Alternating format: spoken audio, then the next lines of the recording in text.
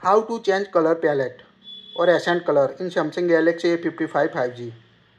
Tap and hold tap and hold the blank space on home screen. Tap on a wallpaper and style. Here you can see the color palette option. Tap on it. Make sure the toggle on color palette.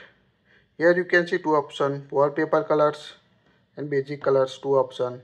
Select the color you want to set on your device. Here we select this color.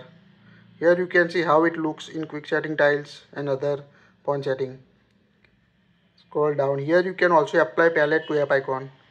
Here we toggle off it. Now tap on apply and let's see how it looks on your phone. Now color apply. Now to check it swipe down the notification panel.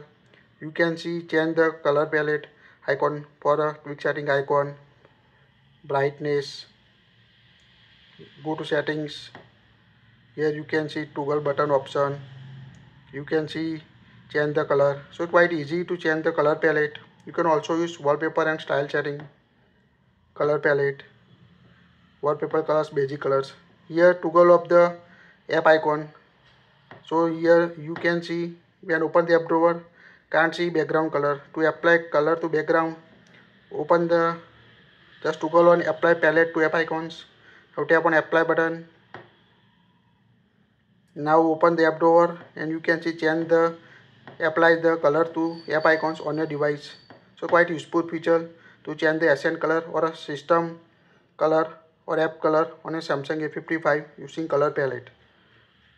To turn off again long press home screen wallpaper and style color palette. Choose the color.